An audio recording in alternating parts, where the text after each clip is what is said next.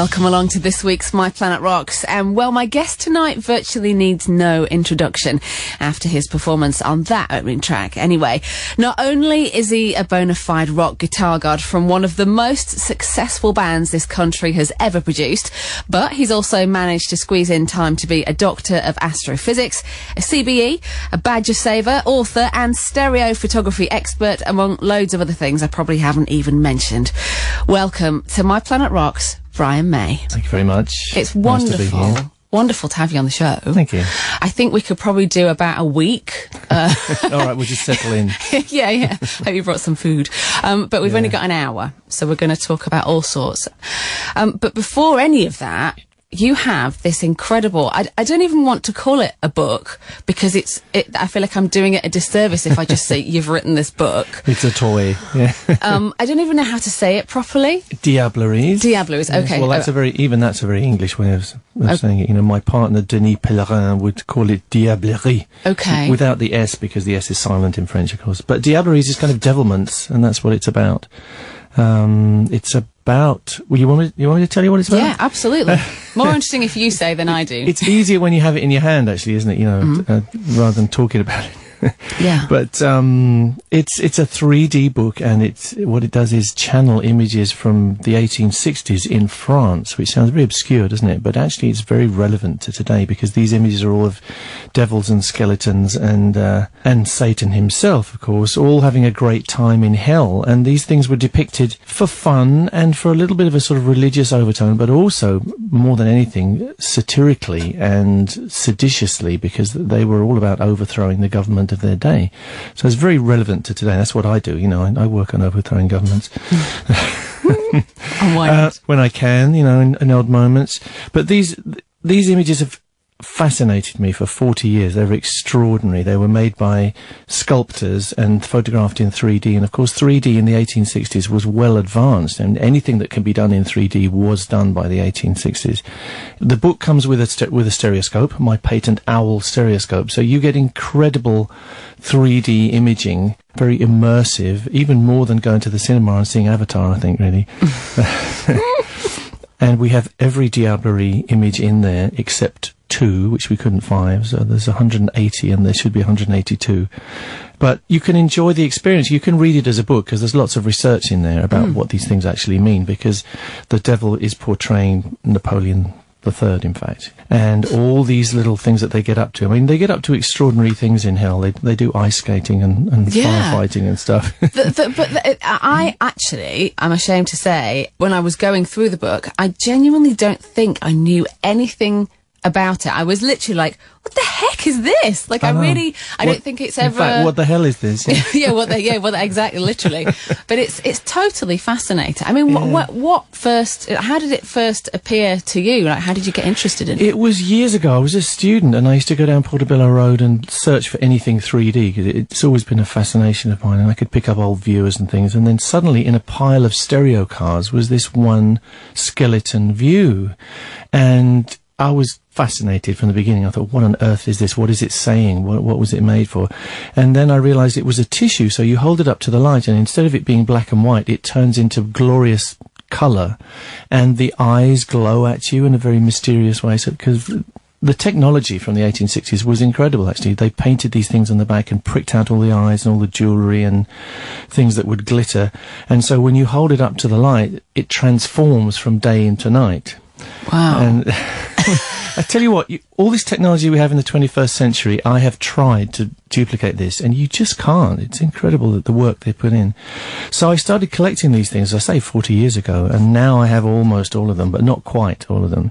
But I know people who have other ones, you know, so I've been able to scan everything. And of course, you use modern technology.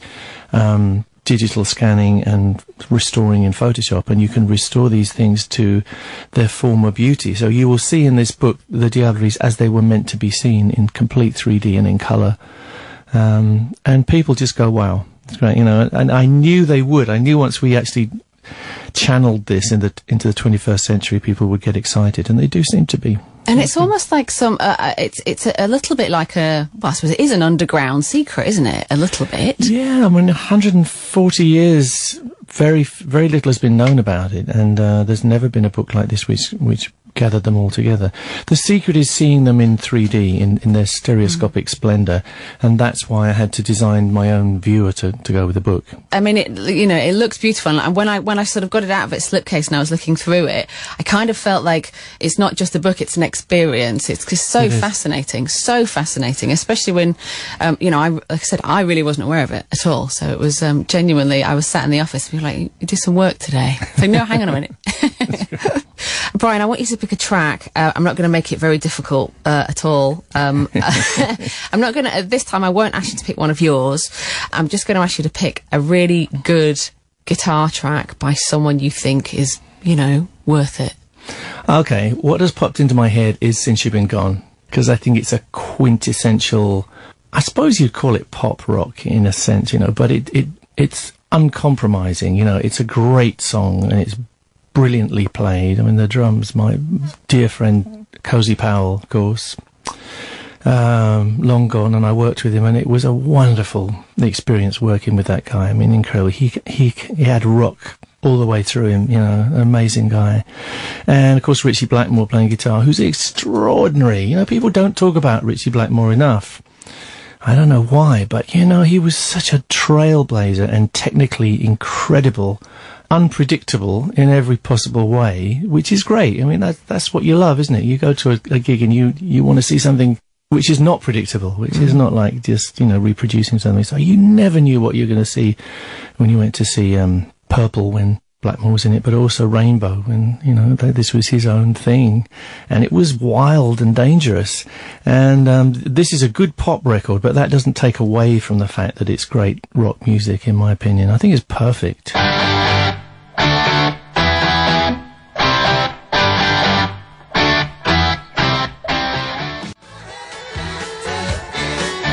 Rainbow on Planet Rock, and our very special guest this week is Mr. Brian May. Um, and Brian May, Doc- actually, yeah, Dr. Brian May. I don't Oh, let anybody call me Mister these days. Yeah. If you go through that torture, you never want to be called Mister. do you know what? There, let's do it again. Dr. Brian May. Thank you very much. Look, um, uh, I did uh, mention, of course, before that the thing that we hold you all so dear to our hearts for is, is Queen. And um, very recently, um, in Montreux, uh, you opened the, the Queen studio experience. Now, I didn't actually know anything about this until I read about the opening, but tell us about it because it just sounds incredible. It's nice. Yeah, it's something I never would have uh, thought would happen. You know, you go through these things. We used to turn up every day in Montreux. We loved it there. You know, it was it was a very good escape from sort of the pressures of of our home lives in London. You know, and we would be there working away, going in the same door every day. And then I went back there last week yeah, to open this studio experience, and suddenly it's all it's sort of been converted into a museum in a sense. You know, it's like being at your own funeral. I'm trying to make it sound positive, aren't I? But but it's actually a great thing. You know, we we worked there for many years, and we actually made more or less six albums there in this little studio in the corner of a casino on the on the banks of Lake Geneva in a sleepy little town called Montreux. And Montreux is is very quiet normally. Um, you know, a little bit of tourism goes on, but when the jazz festival comes on, it's it's massively crowded and nice. Actually, it's a nice event to do. In fact, Kerry and I just played it this last July, and we have a DVD coming out of that performance, which is nice. But I digress.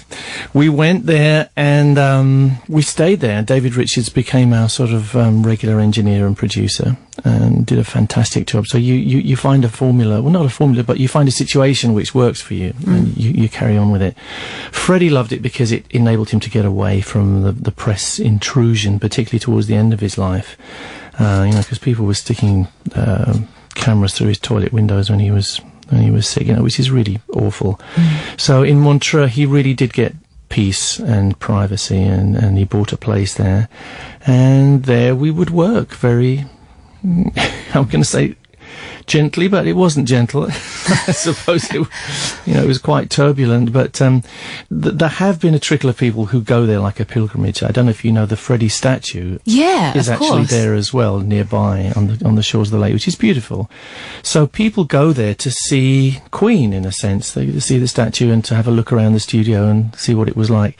So in response to that demand, the um, the casino and the town and some of our people put together this experience, which is basically. There's loads of our stuff there, instruments, and um, you can see where we worked.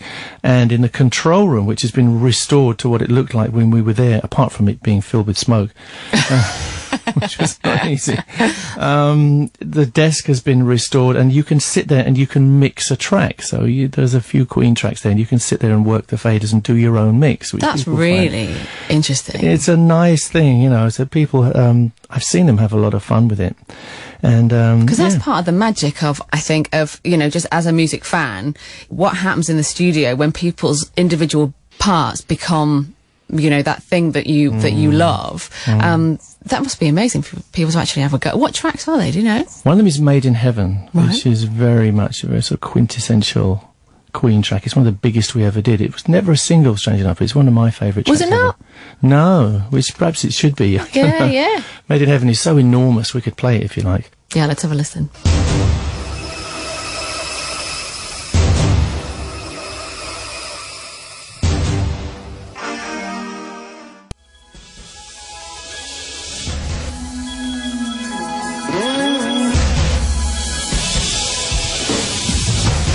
Made in Heaven on Planet Rock. And my guest this week is Dr. Brian May. See, I got it right this time. Thank you, darling. I just wanted to talk to you really briefly because I can't have you sitting here and not talk about the guitar. I actually genuinely do not know how you ended up playing the guitar. Um, and I genuinely don't know the story of, of how, how you ended up playing the guitar and not the drums or the piano. Oh, I see. What what led you to, to six strings? Well, Buddy Holly, really. I think that was the moment. I thought, ah, oh, that's what I want to do. When I heard that incredible jangling noise, I mean, we can play a bit of that if you like. You know, I mean, Buddy Holly and the Crickets. I used to listen to on my little crystal set under the covers when I was pretending to be asleep. You know, and it was magic to me because in the world that I grew up in, it was the world of soft classical music and the big band era and Johnnie Ray, ballads, Bing Crosby. And this guy coming along with this jangling sound and this amazingly kind of spooky sound of the backing harmonies as well. I, I was just blown away, and I still am every time I hear it. From hearing that and thinking, right, that's what I want to do, and actually putting that into practice, obviously, lots of people dream of doing something, but very few actually Mm. you know, get to get to the end game. Once you actually got hold of a guitar, how quickly did you realise actually I can do it? I can do this. I suppose it was gradually. I mean, I was lucky because my dad was musical and he taught me ukulele chords. So when I asked for a guitar for my I don't know, probably ninth or tenth birthday, I got the guitar and I was able to make some kind of noise with it that made sense. But for years I just played rhythm really, and I would sing and play rhythm. So that's my grounding, and I I'm happy that that happened because these days people delve into, you know, playing Ernie Ernie Ernie. Uh, very quickly, you know, people get into playing single notes, but the rhythm stuff is very important. That's your grounding, really. But yeah, I could do something, you know, and I had kids around me of my age who felt the same and were passionate about it. So we would go like and hide in the cycle sheds and play riffs to each other and swap ideas and, and techniques and stuff. So it happened very quickly. Um, you know, by the age of I don't know, you know, 16 or so, I could play a lot of what I can play now. You know, you develop those skills quite quickly. But, you know, the inspiration was all around us. Rock and roll was just burgeoning everywhere. It's incredible. And, and I was listening to people like James Burton on um, Hello Mary Lou uh, Ricky Nelson records. I didn't know his name, didn't know who he was. I just heard this guitar, not just doing the jangling thing and not just making a big noise, but speaking. You know, he could bend notes, James Burton, and wow, it, wow, it. you know, and I was just entranced because that transformed the guitar from a rhythm instrument into a, a lead instrument on a parallel with a with a lead vocalist. So that really just made the hairs on my back stand up, and that's what I wanted to do. Do you want to play a Buddy Holly track then? Probably, maybe, baby. Okay, yeah. let, us have Maybe Baby. I remember them so clearly, these records, because it was vinyl in those days, and this was black vinyl, done very cheap with a black label in the middle with very little on it except the title and the, the artist, and they were in a brown paper bag with a hole in. It was very kind of cheapo, but God, the magic was in there, you know, and I can still smell what it was like, you know. they have a perfume, these vinyl singles, and uh, you know, you put it on your record player, and my God, the magic just just leapt out at you. Well, let's listen to Buddy Holly and Maybe Baby right after this. My Planet Rocks on Planet Rock.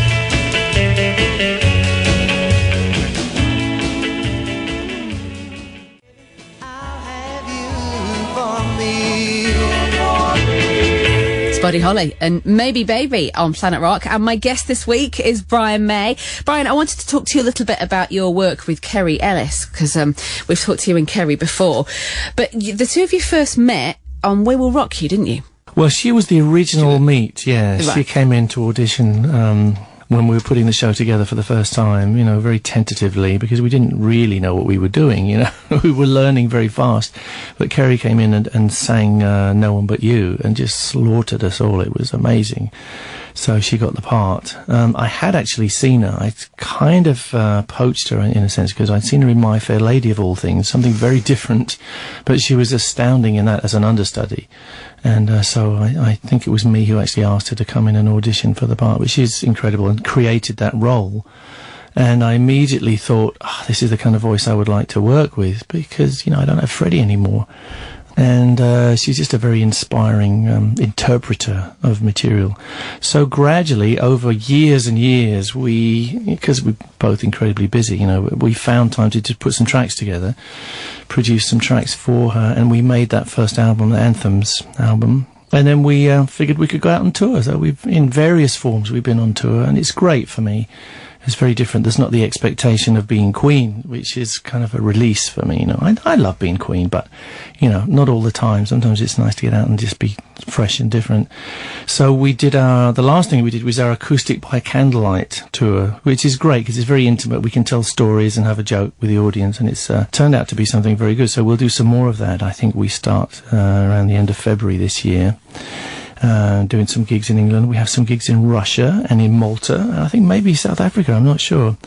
So um, I enjoy that. It's great, and you know, it's it's stimulating for me. It's it's um, it's a way of just having a very fresh look at, at things. We play a couple of Queen songs, and I do actually play some electric guitar, even though it's called acoustic by candlelight. But it's very intimate. It's it's mm. very different from the, the huge grand Queen experience, which we may be doing again. You know, I think we may do some Queen gigs later on this year. I'm probably not supposed to say this, but but we're looking at doing something. You know, and of course Adam Lambert is a great frontman, and we know already that that works. So we would be looking towards doing some gigs with Adam, hopefully. Uh, so I'm excited about that if it happen if it happens. Do you know what? I'm going to make you hold that thought really quickly. I'm going to, and I'm going to ask you that a little bit more about that. Um, if you just pick me a track of you and Kerry's, and then we'll, I'll ask you the big Queen question. Yeah, okay. The track I would pick is called Anthem, and it's from the Chess musical. And this is something which I grabbed hold of because I thought this is really a rock track, and this is what I shall make it with Kerry. And she's got this enormous voice, and so we we did our own adaptation. I'm very proud of this as an arrangement. It's very rock. You know, it's got loads of loud guitars on it, which is kind of what I do, I suppose. it's also got a nice, you know, very big orchestral arrangement, which I did with Steve Sidwell, which I'm also very proud of. And then on top of it sits Kerry with this extraordinary, passionate delivery.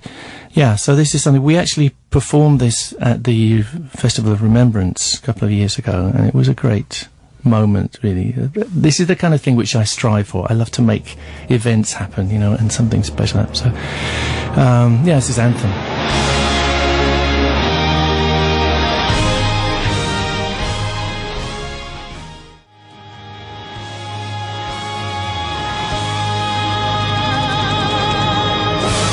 You just said Anthem. On My Planet Rocks, Kerry Ellis and, and Brian May, or Brian Brian May and Kerry Ellis. I'm not sure which way around It can is. be either way, Either way, either way. But um, uh, great stuff.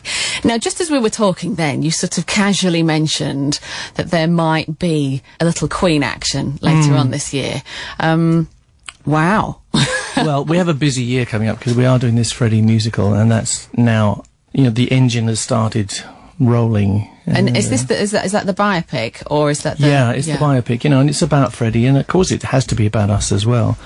And um, I think it's going to be a really interesting film. You know, we've been through various alleyways. You know, we've been through all kinds of thoughts as to what the film actually should be, and I think it's now very clear to us. We have a great director, and we think we have a great guy playing Freddie, but we feel that we understand what our brief is now. You know, because it's a film about Queen as a family, in a sense, because the a group like us um, forms organically, in a sense. You know, we weren't put together from the outside. We just evolved very luckily, you know, into a into a unit which democratically worked and organically um, was creative, and, you know, and the sum of its parts were greater than the parts, if you know what I mean.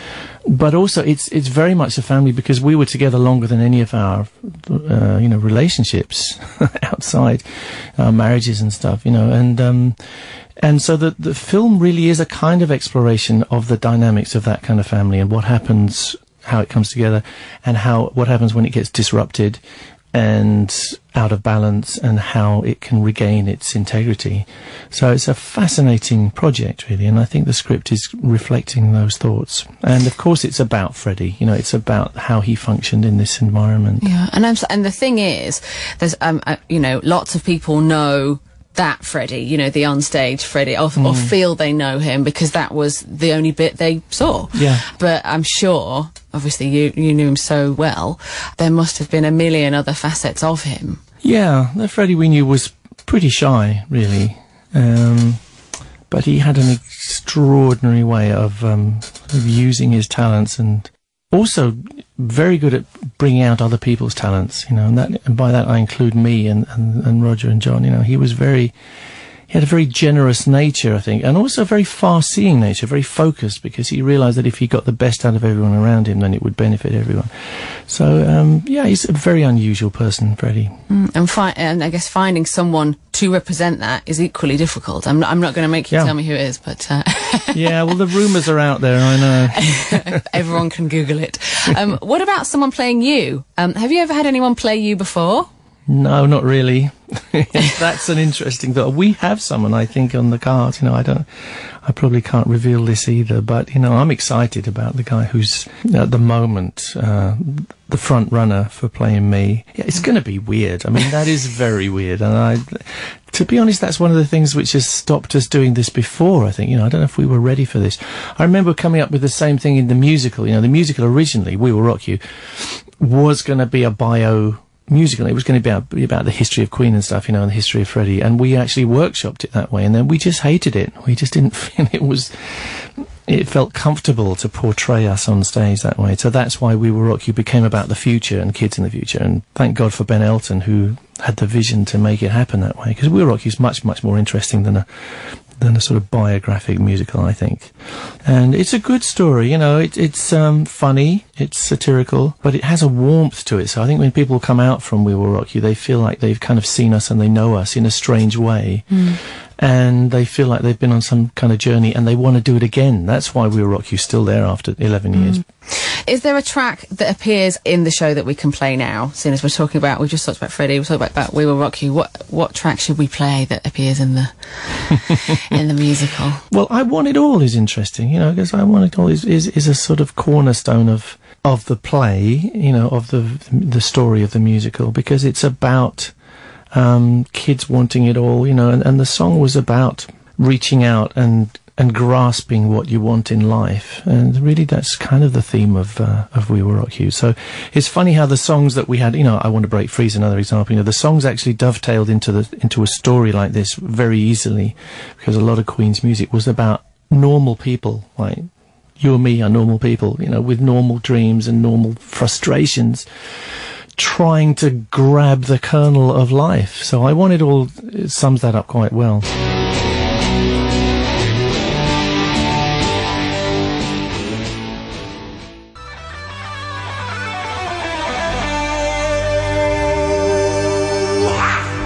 I want it all from Queen. Who else on Planet Rock? And my guest this week, Brian May and um, Doctor Brian May.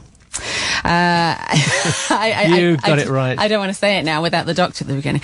Um, so we, we were talking before about more like live Queen shows this year. How difficult is it to crank that machine back into action? Because I assume it's quite a machine. It's slightly frightening because it's big, you know, as soon as the word queen is over the top, then things change in scale. And we do have some great people we can call up, you know, but from the moment you press that button, you feel this sort of energy starting up again. You feel the, the engine start to turn and it's, it's exciting. I mean, I can feel excitement in me at uh, the thought that we may be going out and it's energizing, you know, it also brings, brings other stuff, you know, being queen, sort of stepping back into that sort of battleground, internal battleground, you know, is, is not that easy for me. Um, because I'm used to getting my own way, I suppose. And Roger and I always see things completely differently. We're like brothers, you know. He, there's a certain amount of love there, but there's a certain amount of hatred as well. Not hatred, but you know, we pull in opposite directions the whole time, which is partly the, the strength of Queen, I suppose. But to step back into that arena can be quite hard. For, know for him as well as, as me. We don't have John anymore you know, because he's opted out, you know, he's quite reclusive really, and we respect that. We don't have Freddie, so, you know, here we are. And I think there's always a big question mark, you know, a lot of people think, oh, we shouldn't be trying to be queen, you know, whatever. But, you know, it's in us. That's what we spent half our lives building. And the demand is there. People want to see queen in some form, and we can give it. Someone like Adam Lambert comes along, formerly Paul Rodgers, you know, which was a great success. But Adam Lambert is, um, I suppose a little bit more like Freddie in some ways. You know, he has that extraordinary sort of theatricality to him, which Freddie had as well. He he doesn't copy Freddie in any sense whatsoever, which is great. I would hate to do it with a copyist. But Adam has an amazing range. He's one of the few singers in the world, male singers, who can handle all those vocals at their original pitch. And he's an entertainer. And he's nice to be around. You know, this is so important. You've got to work with people that you like and feel comfortable with. Um, and he definitely qualifies for that. So, you know, if it happens this year, it, it will be with Adam. And, um, well, you know, I can feel the, I can feel the warm draft beneath my feet. Know? I like that's a good way to put it. I was just thinking that it's kind of a shame this isn't TV because just the look on your face then yeah. something, something changed. Yeah, but it, uh, it is kind of scary. But you know, most of the best things in life are scary, aren't they? Yeah, it makes you feel alive. Definitely, mm. definitely. Well, I think we will all, and I probably speak for everyone here at Planet Rock as well, to say that we will all will be there on the front row, most definitely. Brilliant most definitely. Well, thank you to Planet Rock because you, you do us good and we appreciate it. Well, Wonderful. there wouldn't be much Planet Rock, to be honest, if um, if it hadn't been for Queen. So thank you. I think I say that from from that's our great. listeners as well. Oh, that's great. But um, w- I just want to play out with one track before we go. And mm. uh, I think the last time you were really um, uh, on the airwaves on Planet Rock uh, was with our good friend, well, no, not, not my good friend, your good friend, Tony Iommi. Ah, good friend great of the station. Tony Iommi, yeah. Yeah. Tony's great. He's, he's one of my very few real friends in the business, you know, and he's a great, great, great friend he's just, I think, you know, one of the people who, well, obviously, he's, he's kind of the father of heavy metal, really. This man you know, came up with a million riffs, which are the, the cornerstone of, of, heavy metal music. But he's totally modest, you know, he'd laugh if, well, he does laugh when I say that, you know. and, um, in fact, he has so many riffs that didn't get used. We've talked about a project of putting those riffs all together. Uh, that rings um, a bell. Yeah, it's it's something you know we haven't had time to do it yet, but when we do get a moment, that's what we're going to do: sit down. In fact, we've laid we've we've done some preparation, and so you know there's a lot of these tracks we're going to listen to, and he just had so many riffs that not all of them got converted into Black Sabbath songs or even solo songs, you know. So we thought how interesting it would be to have this stuff out there, and maybe other people can use them, you know, like uh, the lost riffs of rock. They will love it. Yeah, really. Tony Iommi's riffs. How does he do it? Well, shall we bring it? Well, I'm going to bring it back to the beginning, and I'm just going to remind everyone that your book, Diablerie, Di- mm. Diableries. I'm going to say it in a, in a northern yeah. accent, uh, so that's the only way I know. Um, Brian's book, Diableries, is out now. And Stereoscopic Adventures in Hell. And I think a good sort of soundtrack for that would be a Black Sabbath track. I think what it would. Think? Yeah. So what should we play out with? I wouldn't mind paranoid myself. Actually, it just always does it, doesn't it? Really. Yeah. Let's have Is a. Is that okay? Paranoid. Are we allowed? I think we are hundred percent allowed, and I'm sure Tony will will be pleased. Brian, it's been an absolute pleasure to talk to you on my podcast. Thank you. Brilliant. Nice to be here.